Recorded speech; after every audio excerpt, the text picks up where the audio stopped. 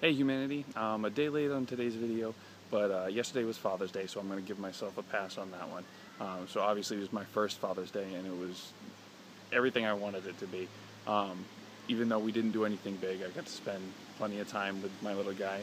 Uh, I got to take the bike out again, um, and then I just got to go and uh, spend some time at my father-in-law's house. We had a cookout over there, and uh, you know, pass around uh, my son, and you know, just you know talk and do family stuff, which is great. Um, so I do want to uh, take the time to say thank you uh, to all the fathers out there and to everybody out there that uh, sent me um, lots of love and text messages and Facebook posts and all that. Um, and I know a lot of uh, first-time fathers or first guys who are having Father's Day for the first time this year. So uh, uh, Jesse especially, um, you know, congratulations to you as well, bud. Um, so yes, big um, happy Father's Day to my dad, Paul Young.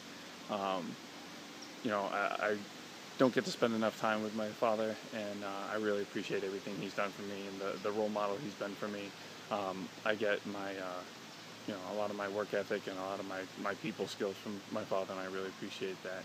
And then uh, I also want to thank my uh, my father-in-law, who is a very imposing figure when you first meet the guy and um, uh, we get along great. And uh, no matter how much he much he busts my chops, um, I love you know hanging around, chatting with him, and uh, cooks a mean steak.